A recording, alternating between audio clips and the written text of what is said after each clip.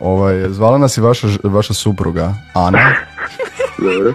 e, pa nas je zamolila ako vas svi mo- možemo ovako javno podsjetiti da uzmete neke papire od poslodavca za HZZO jer vam je danas zadnji dan.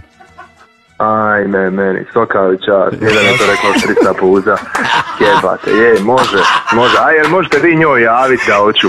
Može, Aj, sad, ćemo, sad ćemo je nazvati pa ćemo je reći, može. Aj, nazovite vi njoj i recite joj da ne mogu se sad sjetiti šta ona nije napravila neko dugo, duže vrijeme, ali sjetit ću se.